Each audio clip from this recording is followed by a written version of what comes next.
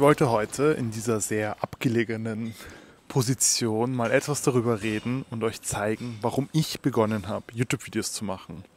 Denn das Ganze ist bei mir in der Kindheit entstanden. Es begonnen damit, dass ich früher mit dem Laptop schon Aufnahmen mit dieser Webcam gemacht habe und sozusagen Nachrichten über die Familie gesprochen habe und dann der Mama und dem Papa immer gezeigt habe. Und da habe ich gemerkt, dass es mir Spaß macht, vor einer Kamera zu stehen. Ich fühle mich wohl, verschiedene Blickwinkel auszuprobieren und einfach in eine Kamera zu sprechen. Aber dann begann es eben mit dem Erwachsenwerden und bis ich meine erste Kamera begonnen habe, war ich dann schon in der Pubertät und, und es hat begonnen, dass man sich unwohl fühlt, Dinge zu tun. Und genau das ist das größte Problem. Ich habe mich hier ins letzte Eck in irgendeinem Park verkrochen weil ich mich nicht getraut habe, woanders meine Kamera aufzubauen und in diese zu reden. Und selbst jetzt denke ich mir, dass mich alle zwei Sekunden irgendwer anschaut und beobachtet. Und ich glaube, hier beginnt so ein bisschen das Problem, warum ich begonnen habe, YouTube-Videos zu machen. Ich interessiere mich zu sehr für die Meinung von anderen. Es kann mir vollkommen egal sein, ob hier irgendwer jetzt gerade über mich redet, mich anschaut oder mich komisch irgendwas tut. Weil es geht hierbei um mich und ich möchte hier euch in diesem Video erklären, warum ich begonnen habe, YouTube-Videos zu machen. Ich habe begonnen, mich in meiner Pubertät unwohl zu fühlen und viel zu sehr für die Meinung anderer zu interessieren und viel zu wenig für mich und mein eigenes Leben. Und da dachte ich mir,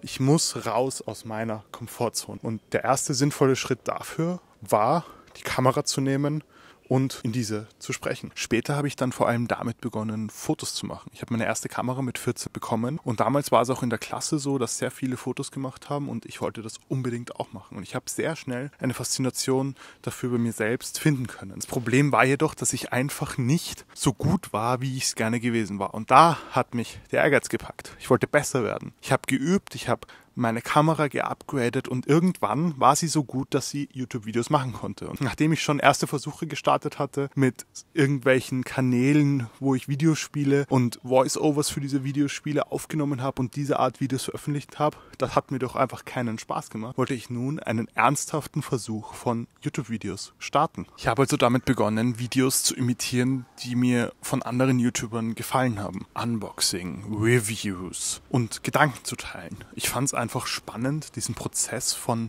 der Erstellung eines Videos mitzugehen. Und dann habe ich gemerkt, dass ich besser werden will. Ich wusste, was ich verbessern will und ich habe mich darüber informiert. Und so hat es begonnen, dass ich irgendwann extrem tief in die Materie eingetaucht bin. Ich wollte immer mehr verstehen, was ein gutes YouTube-Video ausmacht. Ich wollte verstehen, warum Leute ein Video schauen. Ich wollte verstehen, was Leute am Ball hält und ich wollte vor allem verstehen, warum ich so gerne YouTube-Videos schaue. Das ultimative Ziel war es, Videos zu erstellen, die ich selber schauen will. Und genau da befinden wir uns jetzt und hier. Ich habe ein besseres Gefühl dafür bekommen, was ein gutes Video ausmacht.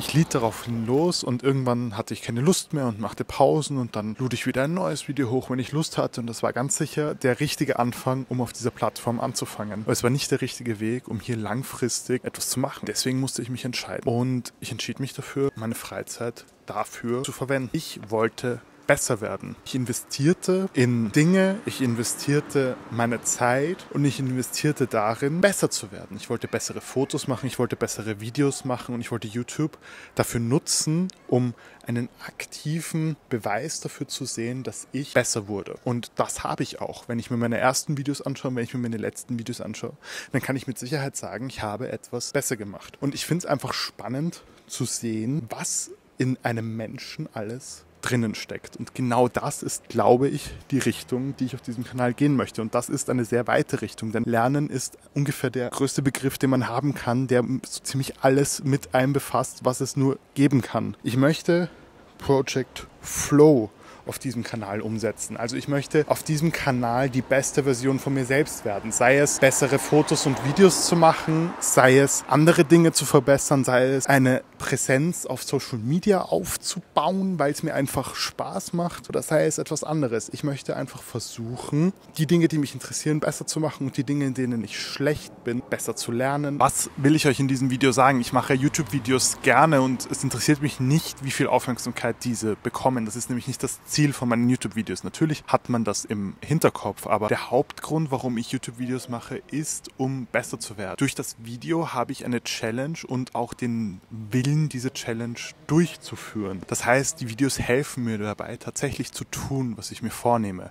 Es ist sozusagen eine kleine Unterstützung, meinen inneren Schweinehund zu überwinden. Und das ist auch das, warum mir persönlich die Videos Spaß machen und warum ich so breit gefächerte Videos mache. Ich mache es, weil ich Dinge ausprobieren möchte. Ich möchte die Welt besser verstehen und ich möchte euch auf dieser Reise mitnehmen. Aber man kann sagen, Projekt Flow ist etwas, das sich über diesen Kanal hindurch ziehen wird. Und ich möchte daran festhalten, denn ich habe es auch schon alle letzten Videos. Der einzige Punkt, der sich für euch oder für dich als Zuseher ändern wird, ist, dass ich in die Beschreibung am Ende des Videos, ich weiß noch nicht genau, wie ich es machen werde, einen kleinen Vermerk darauf machen möchte, was ich in diesem Video anders, besser gemacht habe, was ich gelernt habe beim Erstellen dieses Videos und warum dieses Video für mich besser als das letzte Video ist. Und das sind oft natürlich nur kleine Verbesserungen, aber in Summe, wenn ich 100 kleine Verbesserungen gemacht habe, dann ist das erste Video und das hundertste Video deutlich besser im Vergleich. Und genau das ist das Ziel vorerst mit diesem Kanal. Und ich möchte vor allem in Kurzvideoform mehr festhalten, was ich denn so gelernt habe und was ich denn teilen kann, wenn es um Filmen und Fotografie und